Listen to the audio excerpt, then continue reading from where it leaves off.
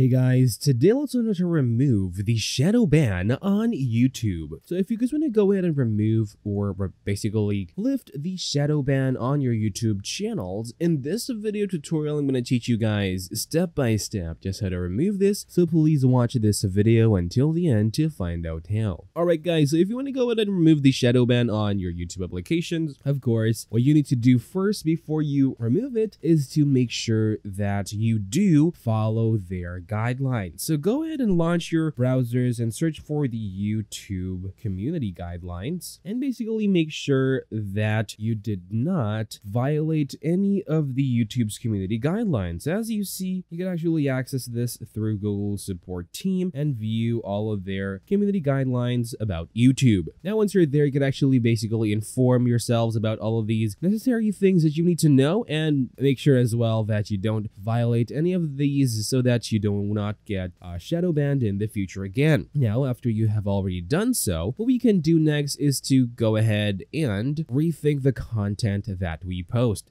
So whenever you go and launch the YouTube application and basically post some content or on there, or you guys comment on a YouTube post, like, or do anything uh, like that, you need to basically double think before you go ahead and do so and see if you are gonna violate any of the YouTube's uh, support and community guidelines. Now, one more quick thing thing that we could also do in order for us to solve this issue is to basically go ahead and submit some feedback onto the YouTube support team. So in order for you guys to basically do this, you would like to go ahead and access your browsers and go on over to support or just search for YouTube support team. Now access here on get in touch with the YouTube creator support team. And then once you're already here, I would like you guys to go ahead and tap on the three lines in the top left corner and then scroll until you see the option to submit feedback on the bottom. Now choose General Help Center Experience, tap on Next, and once you're here, you would like to go ahead and describe your specific feedback. In this case, you would like to go ahead and describe that you found out that you got shadow banned. You also need to tell them that you didn't really violate any of those issues, or if you did, you want to go ahead and basically do some action in order for you to, well, help them solve the issue for you. You can basically provide them with all the necessary information that they need to know and that you can give in order for them to lift the shadow ban for you. Now from here, you could also enter some screenshots regarding your issue. And then once you're done, tap on the check, or you could also prefer not to, but they may email you for information or updates. This is basically going to give you some emails if well, they did take action onto your problem already. So I'm going to prefer to check on that. Tap on send once you're done and basically wait for a few business days until the YouTube support team gets back to you and may help you solve your issue. That's all for this video, guys. Thank you guys for watching. Please like this video and subscribe as well if you guys learned something, take care. This is Web Wizard.